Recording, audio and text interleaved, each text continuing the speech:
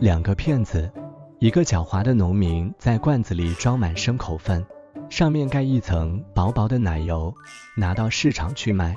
他走到离市场不远的一棵大树底下，坐下来歇脚。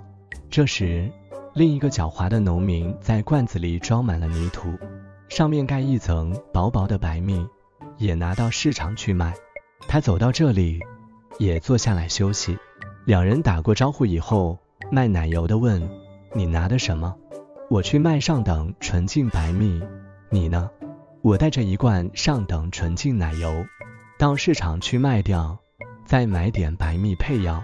如果你同意，我们把货交换了。”了卖蜜的人心想：“我一罐子泥土可以换到一罐上等纯净白蜜，只有傻瓜才不干呢。”便高兴地同意了。他说：“他有许多蜜蜂。”他要把蜜卖掉，买些奶油，准备女儿出嫁。卖奶油的人也非常高兴，他以为一罐子牲口粪换来一罐上等纯净白蜜，占了天大的便宜。两个人交换了罐子，便迅速分手，各走各的路了。卖奶油的对自己的高明骗术非常满意，走不多远，便想去尝尝这上等纯净的白蜜。打开罐子，用手指去抠。只见一层薄薄的白蜜底下尽是泥土，他明白了，他遇到了一个像他一样的骗子，便大笑起来。那个卖蜜的很快也发现了上等纯净奶油原来全是牲口粪。第二天，他们两个又来到市场，又在那棵树下见面了。是你呀？一个问。你也来了？另一个回答。开头两个人互相指责、谩骂，甚至要动起武来。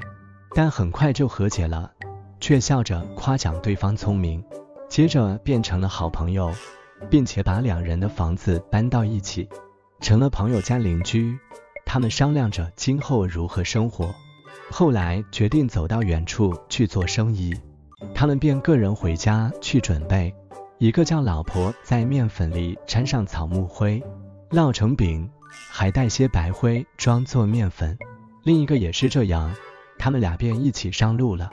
走到傍晚，他们停下来，拾些柴禾，打来清水，烧起篝火，准备做晚饭。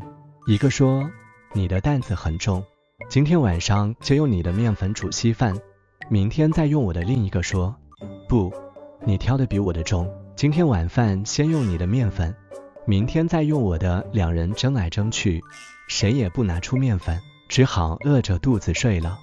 早晨，两人又一起上路。傍晚来到一条河边，他们又争论着该谁先拿面粉，结果又饿了一夜。第二天，他们又是赶路、争论、挨饿。这时，有一个忍不住了，打开口袋，拿出白灰，装作自己什么也不知道的样子，把灰放进开水里，然后骂起老婆来。另一个也打开口袋，装作去拿面粉。结果也说，我老婆和你老婆都是一样的货色。他们互相嘲笑着，指责着。一句谚语就是从这里得来的：两个骗子的稀饭是白水煮白灰。两个挨饿的骗子只好到村里去讨点吃的。他们从这个村走到那个村，一点东西也没讨到，因为谁也不愿意开口。最后决定去偷。他们走到一群绵羊跟前。但是牧羊人看得很紧，没有偷成。后来又碰到一群山羊和母牛，也因为看守的严，都没有得手。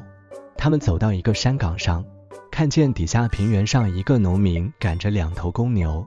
一个骗子说：“听着，朋友，把这两头公牛偷来吧。”可怎么个偷法呢？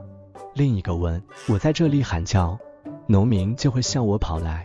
你把一条偷走。”另一条，我来想办法偷，然后再在这地方会面，说做就做。一个在山岗大喊：“阿哇嘛！”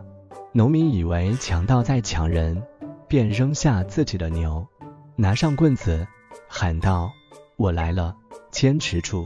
他跑到骗子跟前，问他：“你怎么了？”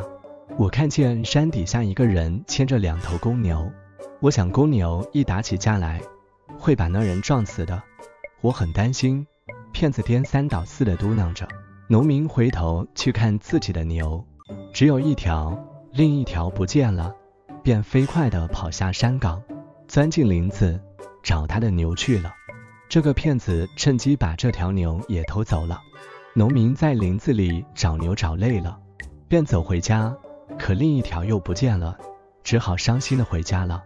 两个骗子，个人偷到一条牛，高高兴兴的在老地方会了面。他们把牛赶进一个山洞，把牛宰了。一个骗子说：“我的朋友，你到村子里去讨个火来，我们来烤点熟牛肉吃。我在这里把肉切好。”那一个同意了。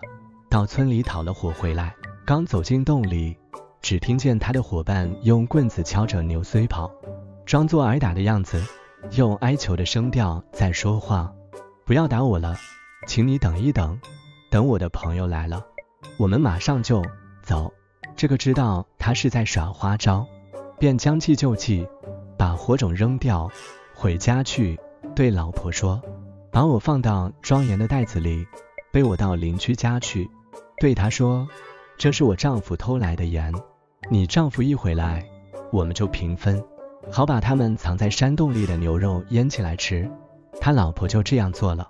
邻居的妻子高兴地收下盐，把袋子藏到床底下。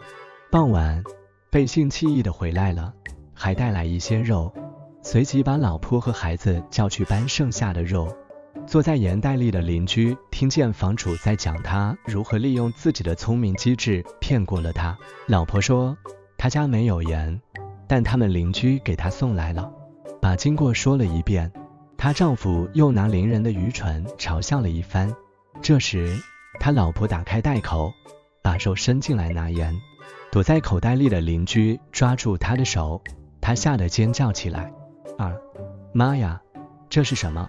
这时主人问：“谁？”我邻居回答道：“啊，是你。”他们对自己的勾当惊讶了半天，又大声笑了起来，然后把肉分开，各自回家去了。从这里又得出一句谚语：“骗子骗骗子，一个散一个。”第二天。